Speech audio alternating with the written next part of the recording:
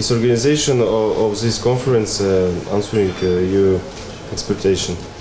Uh, I must say, I, I, was really positively surprised to see, especially today in the morning, the breadth, the different fields of science that are coming here together, and I found this very inspiring. Mm -hmm. last uh, question, please uh, uh, share your impression about Kazan Federal University.